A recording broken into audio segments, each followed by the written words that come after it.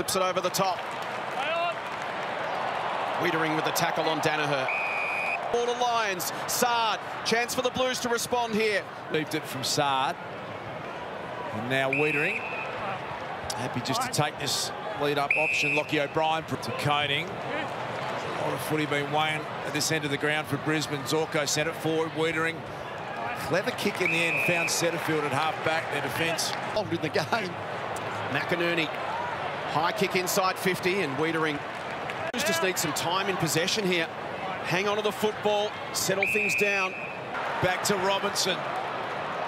Sends it deep. Hipman was the intended target. Weitering on that occasion was up to the contested marking. Hard manages to keep his feet in the end. A slight stumble. And Weitering to McGovern. The first uh, 60. Bailey. Cut off by Weitering. So that'll be the hope for the Blues is that they know they've got the ability. Heads to that collective. Rayner at the back almost. There he is.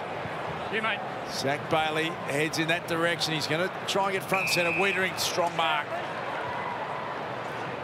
He's been pretty solid back there. And the release kick. As they start to make some decisions looking to the future for Carlton. Still a chance to make the finals, but coaches and selectors.